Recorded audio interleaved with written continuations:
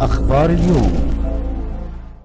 طيب حضرتك يعني نقطة تانية الشباب وفي مواقع التواصل الاجتماعي. حضرتك مواقع التواصل الاجتماعي هي يعني المنفذ اللي موجود عند الشباب وفي نفس الوقت مواقع التواصل الاجتماعي هي حاجة بتدمر من ناحية وبتبني من ناحية. يعني ممكن تكون تواصل فعليا لكن حضرتك حذرت وهو ده واقع إن مواقع التواصل الاجتماعي جايبة لنا كلام مش حقيقي وإشاعات وغير مؤكد وما إلى ذلك.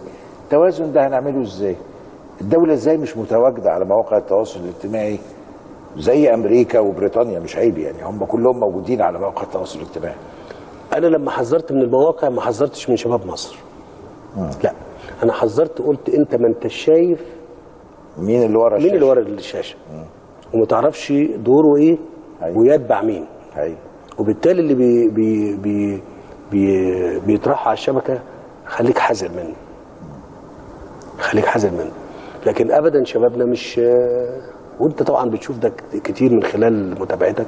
لا طبعا في ناس وعينا زاد مفيش كلام. وعينا كشباب زاد جدا. نتيجة قدرتهم على إن هم يقدروا يميزوا بين ال- الغث والثناء. خلاص. فعشان كده ما أنا خلي بالك.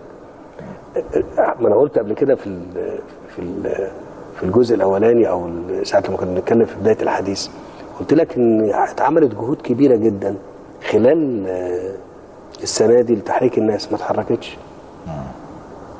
طب قبل